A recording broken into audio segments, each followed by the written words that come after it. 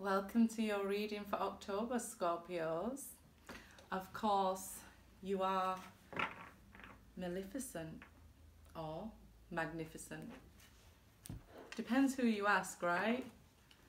Because Scorpios can go either way. Depends how much you will put on them. How much you leave them out, right? Because they're a part of nat- nature, a force to be reckoned with, all on their own, right? And if we so choose to, we can go to the dark side too. Or if we are treated badly, a wonderful idea, the aha moment. So, that moment when you realize that they've taken you for granted. Clockwork Pumpkin it is. That's card 39. And we have Witch at the End of the World, an important end and a new beginning. So, that moment, you realize it's the end and there's nothing more that can be done. You can transform and transcend if you want to. We are powerful on the good side and powerful on the bad side too. This is why we have so many cross watchers saying that Scorpio is evil. That Scorpio is evil, right? But they're kind of going to have a moment where they realize, aha, um, maybe it wasn't all the Scorpio. The end, the wake up from a Scorpio It's time. Pick a side. Good or bad, you'll do well on either one, right, Scorpio? Snow angels. The signs are already with you. Which way will you go? Let's see. Let's see which way the Scorpio will go during their solar return. So we have the Two of Swords, Ace of Pentacles. You can choose to focus on money, focus on commitment, or um, you might find if you're cross-watching for a Scorpio, they're indecisive about commitment. Going all in on somebody again in this moment. Um, they're indecisive right now. They don't have the answers for you. Um, I don't think they're in two minds about making an offer to you. If the Scorpio has to make the offer to you, they're in two minds about accepting this offer. It's kind of like, you know what? I gave what I gave and it was what it was. That's that aha moment. Now, there's an opportunity for commitment or an opportunity for money coming in. You may have waited a whole year for this offer to come in and this is why now we see, nah, am I really that interested in this offer anymore? Thing is about a Scorpio, they will wait for people. But when their time's up, it's up. It's just how it is. And here, I see them in two minds about you if you're cross-watching for a Scorpio. Uh, Scorpio, if you've been worried about money and wondering where it'll come from, it's going to come to you now in a huge sum of money. For those Scorpios that have been doing the work, right?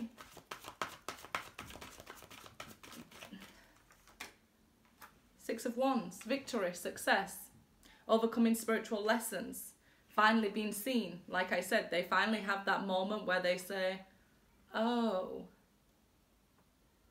And here it's like, every time I look at this card, reminds me of Rihanna. you know I dealt with you the nicest. Because ask anybody else, they may feel like, wow, she was so nice to you, or he was so nice to you. They were usually so bad and so evil. But it's how the Scorpio is treated, right? They'll put up with things for a long time. They will love you for a long time. And then when it's just this, the sun, when they are this phoenix rising, when all is healed and they have that clarity, ah, good luck on getting them back no matter what you offer them. Doesn't seem like money will be able to tempt them. Doesn't seem like you taking notice and you trying to talk them round, telling them your thoughts. Doesn't seem to help here. Because they already dealt with you the nicest. And they've gone from three swords to two swords. Did they ever really love me? And you're like, sure I did. It just took me a while to see it. Now I realize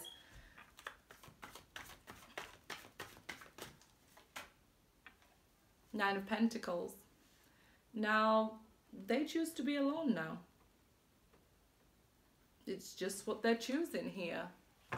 Personal growth. Nine is related to the Hermit. They're choosing to grow independently from you. Maybe even focus on work towards that 10 pentacle here. So I guess that's why we can say you know, the Scorpio, they never gave me a chance. They never listened.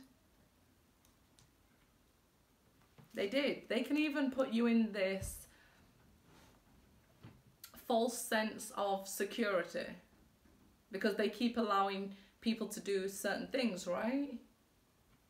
And then when they do it for the last time, it's kind of like we expect people to be mind readers as Scorpios. And we can leave people confused like what I did what did I do? And we're like work it out for yourself. Nine of pentacles work it out grow yourself here. You'll find yourself as a phoenix. This is what a Scorpio will try and help you to do. They'll try and help you to work through and become a phoenix. I mean whether it happens with everybody is a different story but that's kind of what they try. Try to enlighten with the sun. And they're just marching off now into the sun with the Six of Wands, not knowing what's going on here. Page of Pentacles could be a younger earth sign here or a Leo. Um, again, now what you're offering with the Page of Pentacles or what's being offered to you, it's not big enough. And there's going to be nothing that you can offer here because they're their whole 10 pentacles by themselves. They didn't need you. They always loved you and wanted you and waited for you to realize that. And I guess they dragged you on a journey to teach you something with the Page of Pentacles. Um, but it seems like you've hit a learning curve and there's much here for you to learn from this Scorpio or as a Scorpio here a younger earth sign a Leo could have dragged you into um, something that had you questioning yourself your self-worth even. But it was like a, a step up here to teach you to be a better version of you. So we go from Ash to Scorpio to Phoenix, and you're one of them, right? You'll know it's individual to yourself. But you're now taking what you learned with the Page of Pentacles because you've overcome this spiritual lesson. So you know your worth, you know your value, you're starting to work for yourself independently here. You're having great money opportunities coming in with the sun. A lot of positive energy coming in because it's a Scorpio solar return. That we're heading towards in October, the second half of October here. So if this person, Scorpio, has not spoke to you in over a year or something, we see them reaching out with small talk because they realize now that you're the one. They realize you was magnificent.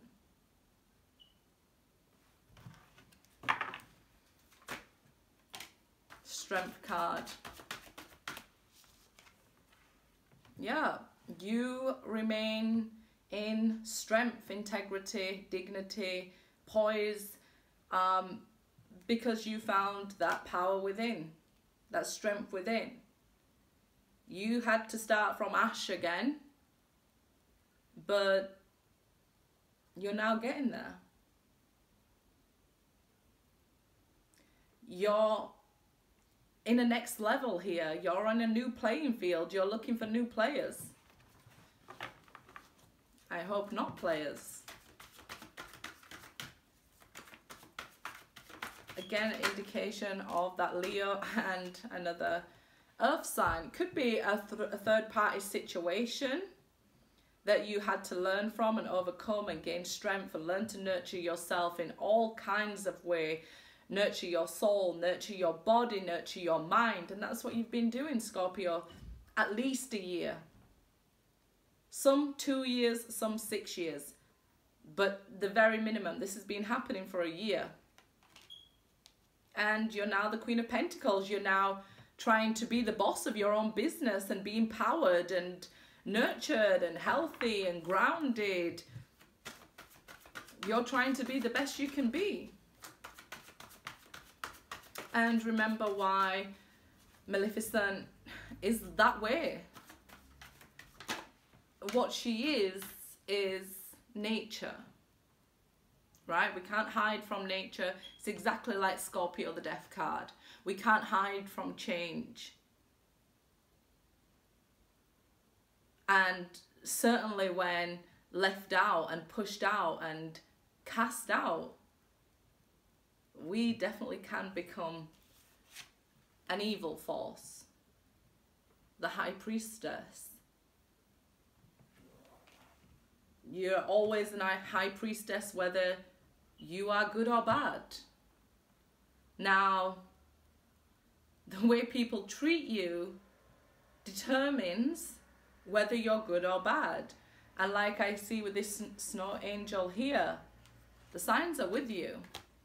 Trust with the high priestess, your intuition. And your intuition is like, boy, if you come to my house again, the the only thing you want to say is, you know, right? And they say, I know. And you're like, okay. So leave it at that. High Priestess, this could be a Pisces coming towards you. Ten of Swords, the worst of it is over, Scorpio. Like I said, it's been going on years. So now the worst of it is over. This positive energy is flowing in for you here in the 10th month, we see changes, transformations, um, somebody wanting to communicate, um, and somebody might communicate that it's done, it's over for good here. You might feel betrayed, or if you're cross watching for a Scorpio, you might feel betrayed.